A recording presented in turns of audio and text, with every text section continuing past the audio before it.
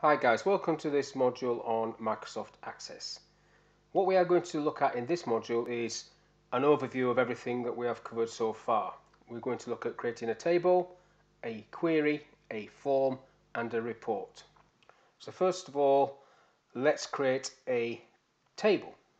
So normally we'd be on the Home tab. To create a table, click on Create. You've got two options there, Table and table design, my recommendation is to go into table design where you can fill in the fields or the columns for your table and the data type and the description. And at the bottom there you can set your properties. So very quickly I'll do um, staff ID and that will be a number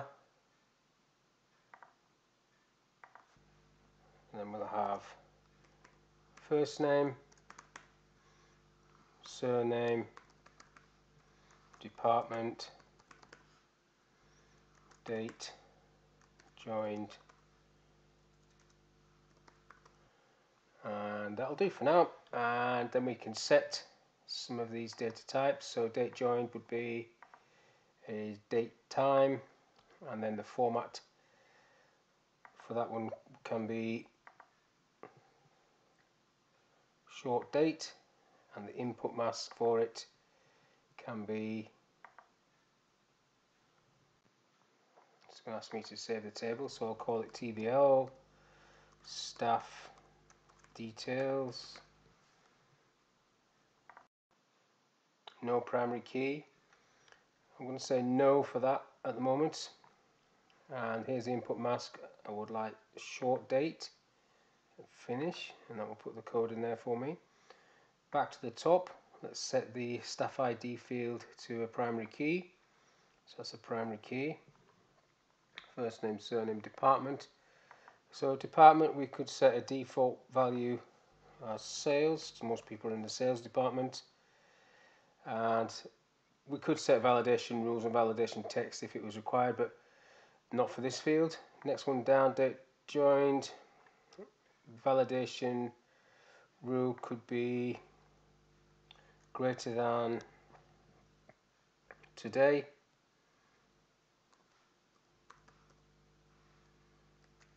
In fact I'll put it greater than now.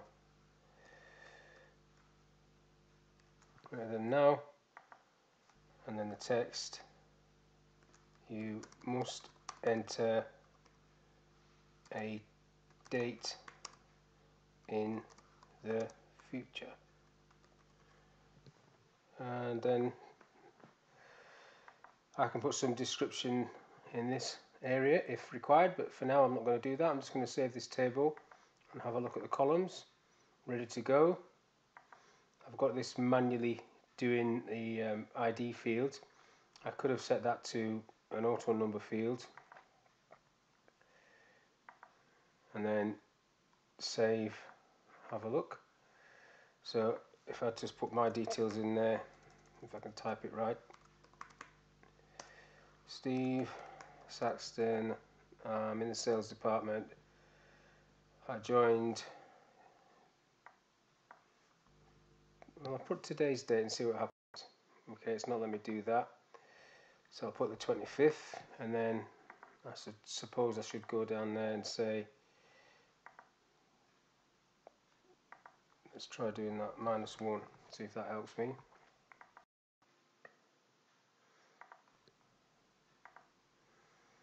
Now let's see if I can join on the 24th yes I can. Okay so that's how you create a table and I'm going to close that table down. Now let's have a look at creating a query. Query again query design or query wizard. For this little example this is an overview example. Query design and because I've got no data or not much data in this table I'm going to use address details. So double click on address details close this box expand this list so you can see the fields.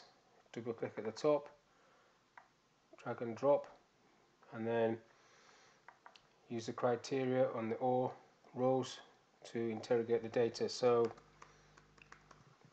I want everything from Bradford run the query Uh, there are the records for Bradford.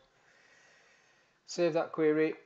So it's a QRY query looking at the TBL address details.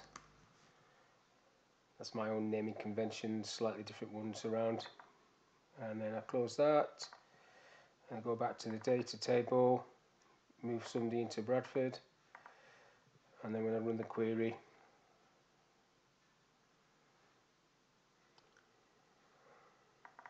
that one, it's added on there. So I didn't put Bradford at the end of it because it's already there from previous sessions, but that's how you would normally name that query.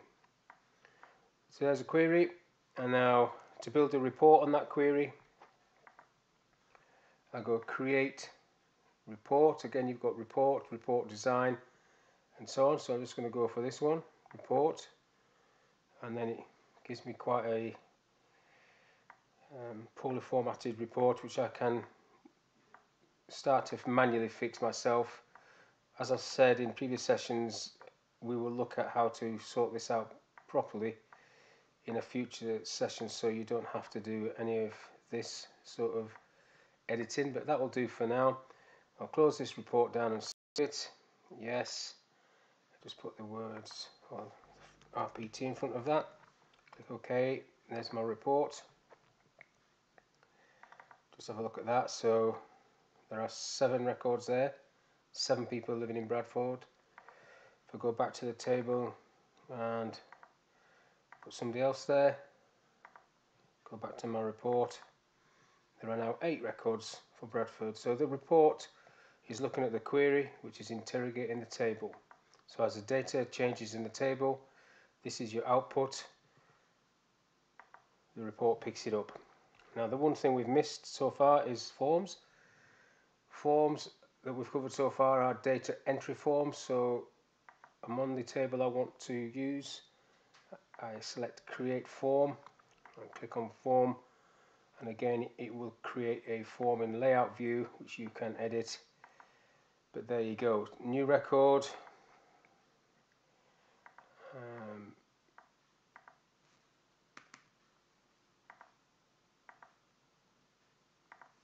let's do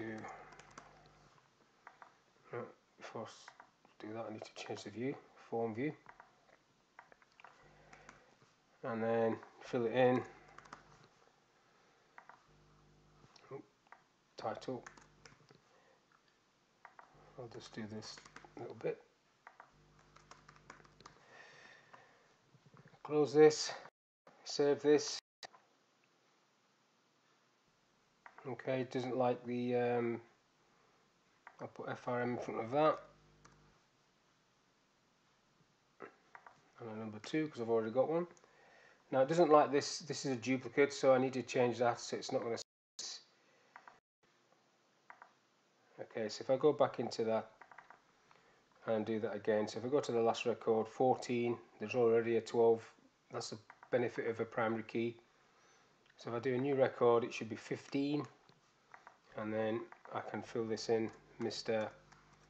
Steve Saxton, close it down, and then when I open the table there's a record at the bottom there so to recap this you create your tables you build queries to interrogate the data you create forms to input data and you run reports for output management output information you can print report, uh, forms if you want and you can print queries and you can print tables but the benefit of Access is the report outputs and the layout you can do in reports. That's how it should work. If you're printing tables, it's like Excel, same with queries. You're losing the benefit of, or the power of Microsoft Access. So that's it for this overview session. In the next sessions, we're going to look at using Access as a fully relational database, multiple queries across tables, and great reports hopefully I can catch you there. For now, thanks for your time.